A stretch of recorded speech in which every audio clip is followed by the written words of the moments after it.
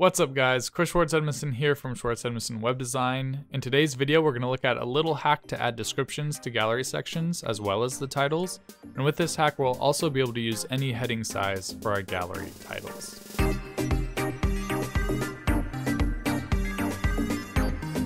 So I'm here in my 7.1 site, and right now I just have a page with all of the different heading sizes listed out, and then there how you would target them in CSS. So we don't have to worry about that too much right now. What I'm going to do is I'm going to go ahead and add a gallery section below this. And I'm just going to choose this normal like grid gallery. And in 7.1, we have different gallery options. So if you edit the sections, you can see all of the different gallery types, but I like the grid simple for having like a, a title and description below the image. So uh, the first thing that we need to do is go ahead and add a title. So I'll say this is my title and I'll hit close. And now if we go back and turn on the captions by editing the section, then we can now see that this is my title down below. Now, the problem that we face uh, and kind of the solution that uh, this method presents um, is this is just a fixed pixel value that Squarespace is setting on the caption. So it's giving all captions just a font size of 14 pixels. So if we wanted to set a different font size, uh, we could do that. We could target uh, the gallery section, gallery caption P, and we can set our font size to something else. But the problem is Squarespace doesn't use just explicit pixel font sizes for their fonts.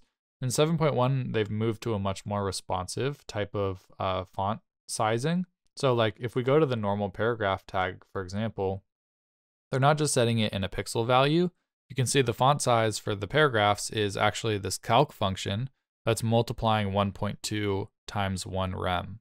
And if we go down to the mobile view, it changes.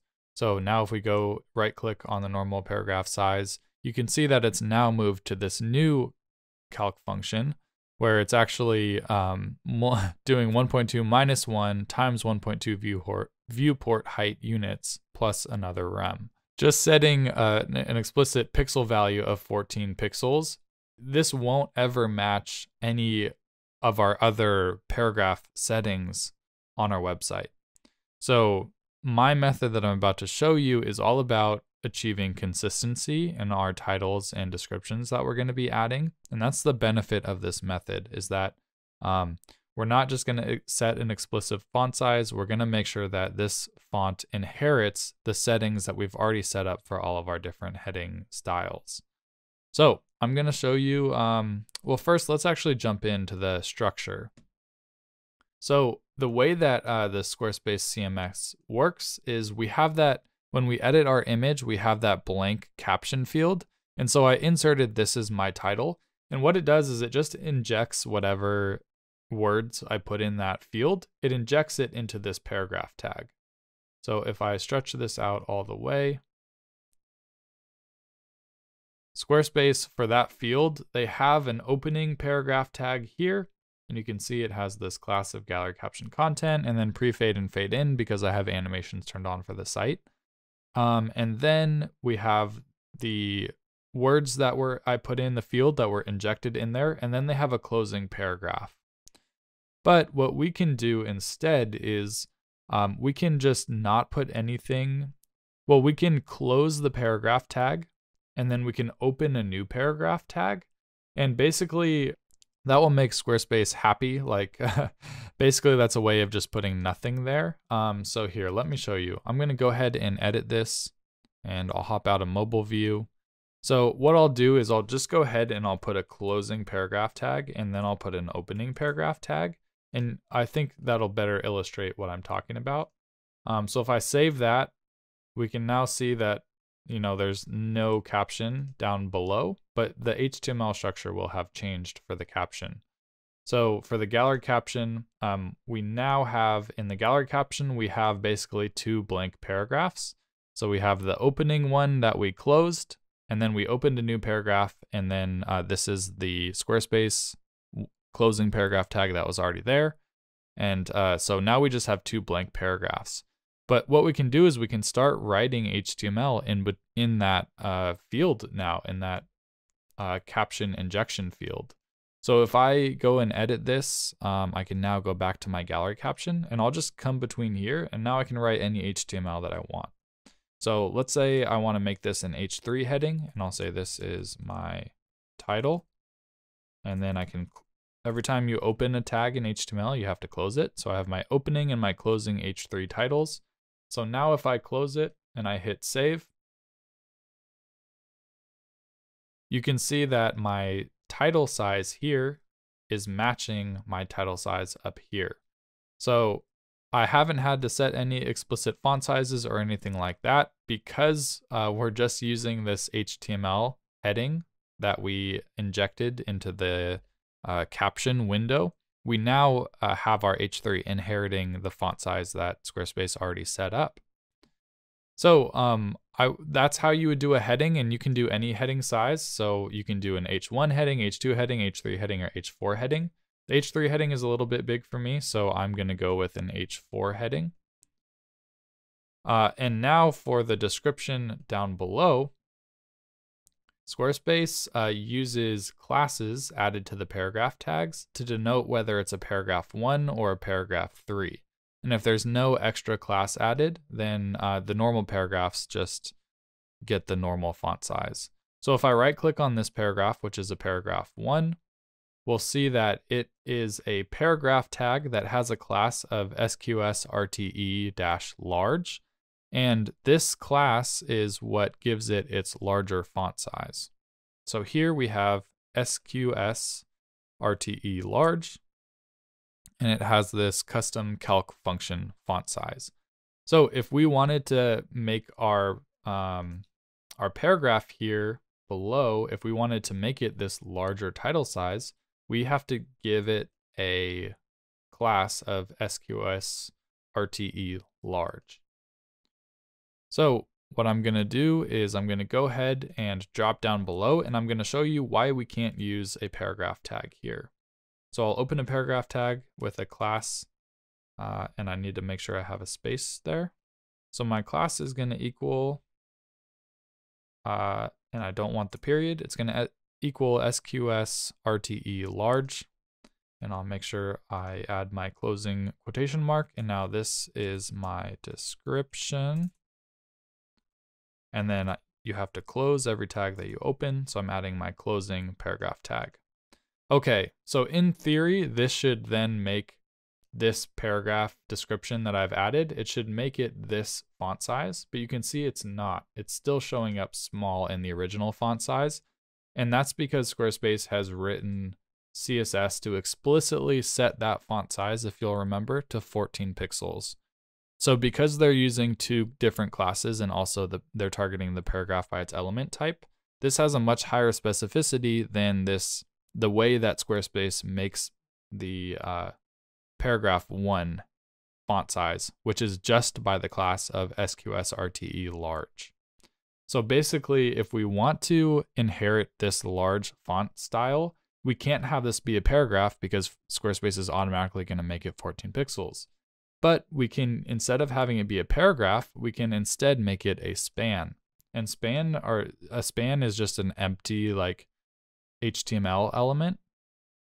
Um, so we can do, whoops, we can change this into a span instead of a paragraph, and immediately you'll see that it works. So now it's no longer a paragraph that Squarespace can override with the 14 pixels.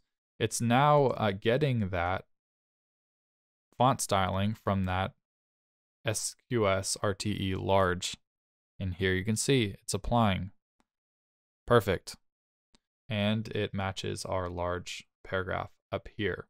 So this is how we can add kind of consistency throughout the font sizes um, by just tricking the CMS into uh, letting us add our own HTML.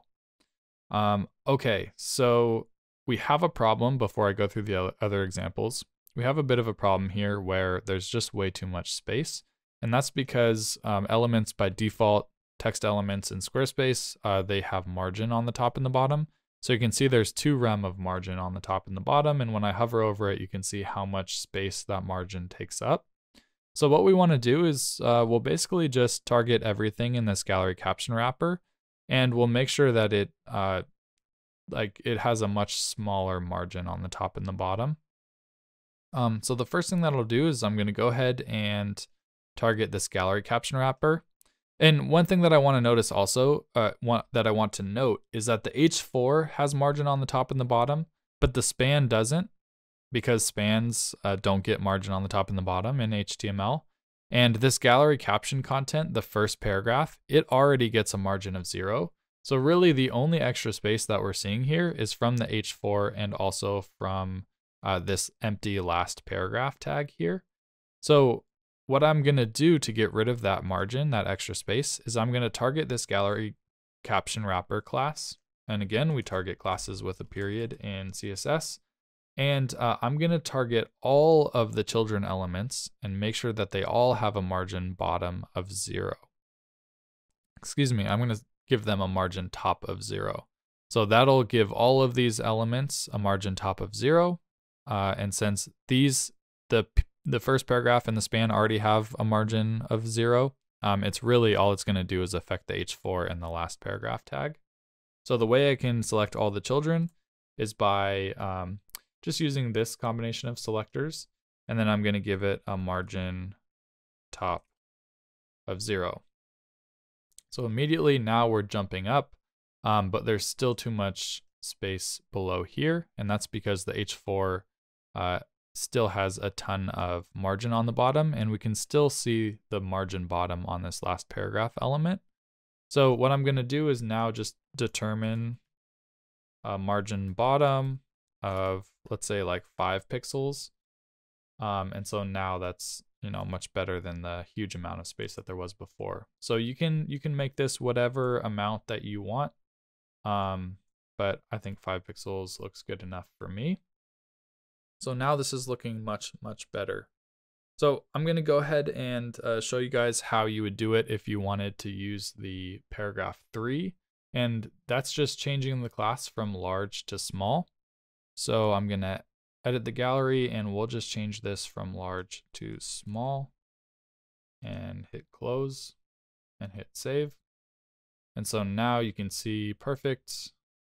We have a nice heading and title here using the H4 and then using that SQS RTE small style. And the beautiful thing about it is if we change these heading sizes, these are always going to update to match. So if I go to my design, site styles, fonts panel, and I want to change the paragraph size, for example, let's say I actually want this to be a little bit bigger than it was. When I update it here, my description that I added is also going to update because we're using the same class that Squarespace uses. So this is a nice, a really nice way to keep this uh, to keep the fonts consistent across the site. So a nice little hack, and uh, we also didn't have to use too much CSS either. Um, really, all we had to do is just write this one line of CSS to decrease uh, the margin a little bit between them. So what if you want to use a normal paragraph style? Um, there's a little bit of a different setup that we have to do. Instead, we're actually going to want to make this uh, well, let's see if we just get rid of this. If it'll go back to the normal size. I'll hit save. I'll inspect and our span is getting the normal font size. Perfect. Awesome. So if you want it to match your normal paragraphs, go ahead and just give it a span class, uh, a span tag without any classes. And if you want to match some of these other styles, then you can add the class of SQSRTE large or SQSRTE small. Um, okay, so that brings us to the end of the tutorial. I'll give you one more look at what the HTML looks like that you're going to insert into the description field. Basically, we're closing the default uh, paragraph tag, uh, yeah, default paragraph tag then we're adding whatever heading we want. We'll drop down below that and we'll add our span for our description and we'll give it whatever class we want for whatever font size we want it to be. And then you're just going to open up the paragraph tag um, so that the default Squarespace closing tag uh, can be just an empty paragraph. So this is what it'll look like, uh, and it's super easy. Like if you were to hand this off to a client, I would just explain to them kind of you know, this is the structure that you'll want to use. Whoops. So we can add it to another one really easily, paste it in there. This is my new title, and this is my new description. So that's what I'm doing on sites now, um, just to make sure that I keep everything consistent uh, across the site in terms of the font sizes. Okay, that was a long tutorial, but I hope you can see the benefit of adding a description to your gallery fields and then also the benefit of doing it the way that I did it. So this is actually a, uh, something that I teach in a new course that I'm coming out with. Uh, and it's not so much about learning CSS. The course is really a collection of CSS snippets that I am using really frequently in 7.1 across the client sites that I'm building. Um, so it's not out yet, but it will be coming out soon. So if you're watching this in the future, check the link down below and see if the course is out yet. Thank you guys so much for watching this video. Give this video a like if you did enjoy it, and I'll see you in the next one.